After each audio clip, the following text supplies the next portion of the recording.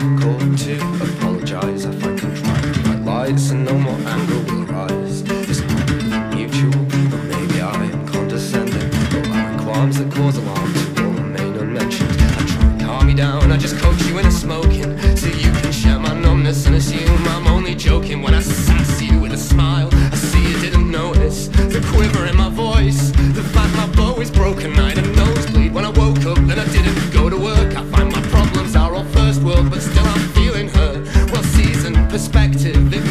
myself, I can complain of my sadness, but I have more than someone else.